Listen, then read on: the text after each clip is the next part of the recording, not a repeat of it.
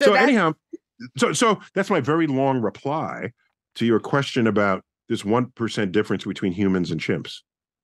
Wow, that's.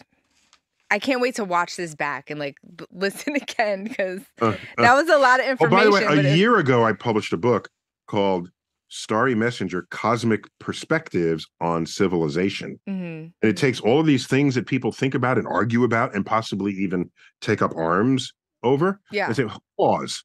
Here's what it looks like when you're scientifically literate, and it looks really different. And here's what it especially looks like Yeah. when you have a cosmic perspective. And from a cosmic perspective, so much of those conflicts just evaporate. There's an entire chapter there on body and mind, we, where it forces you to think about our bodies and our minds in a more cosmic context. And I retell this example with the chimpanzee in that chapter and go many other places as well.